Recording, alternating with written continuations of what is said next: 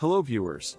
Today's topic is a special one. We're delving into the world of high porosity hair and how to care for those luscious locks. If you've been dealing with frizz, breakage, and excessive dryness, this one is for you.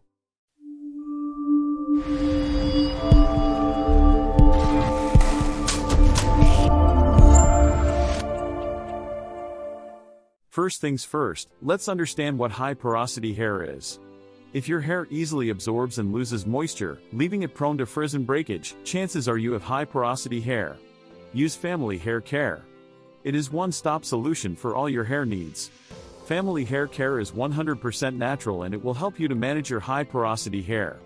It will also help you to regrow hair fast, improve scalp health and repair damaged hair as well. Gently detangle high porosity hair using a wide tooth comb. Start from the tips, working upward to minimize breakage and ensure a smoother process. Hot water can be harsh on high porosity hair, leading to more dryness. Finish your showers with a cold water rinse, it seals the hair cuticle, locking in moisture and adding shine. Consider protective styling. Styles like braids, twists, or buns can shield your hair from environmental stressors, reducing the risk of damage and helping to retain moisture. Keep those ends healthy with regular trims. Snipping away split ends prevents them from traveling up the hair shaft, maintaining the overall health of your beautiful mane. Opt for low manipulation styles to reduce stress on your strands. Styles like Bantu knots or loose braids allow your hair to thrive without excessive tugging and pulling.